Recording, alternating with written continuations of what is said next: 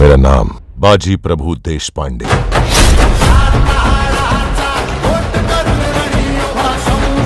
Finally दोस्तों, बॉलीवुड, टॉलीवुड और कॉलीवुड के बाद मराठी फ़िल्म इंडस्ट्री भी आ गई अपनी पहली पेन इंडिया मूवी के साथ। जी हाँ दोस्तों, हम बात करें अपकमिंग मराठी मूवी हर हर महादेव के बारे में, जिसको कि पेन इंडिया लेवल पर रिलीज़ किया जाएगा।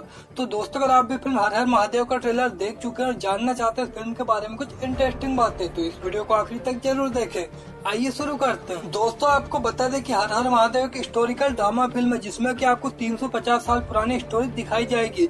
जी हाँ दोस्तों, इस फ़िल्म में आपको भारत माता के महान सपूत शिवाजी महाराज और साथ ही मराठा साम्राज्य के जनक कहे जाने वाले शिवाजी महाराज की स्टोरी को दिखाया जाएगा। दोस्तों, आपको बता दें कि इस फ़िल्म का डायरेक्टर अभिजीत देश पांडे के डायरेक्शन में बनाया जाएगा, जिसके लीड रोल में आपको सुभेद भावे, मिलिंद सिंधे और शरद केलकर जैसे बड़ा कलाकार दिखाई देंगे। दोस्तों, आपको बता दें की शरद केलकर वही कलाकार है जो बाहुबली और बाहुबली टू जैसी फ़िल्मों में अपनी आवाज़ दे चुके हैं और साथ ही इंडियन फ़िल्म इंडस्ट्री की कई बड़ी फ़िल्मों में अपनी आवाज़ दे चुके हैं।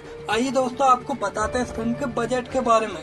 तो दोस्तों, इस फ़िल्म को लगभग 10 से 15 करोड़ के बजट में बनाया गया है, जिसको कि 25 अक्टूबर 2022 के दिन लगभग 1100 स्क्रीन पर Indian world wide box office पर रिलीज़ किया जाएगा।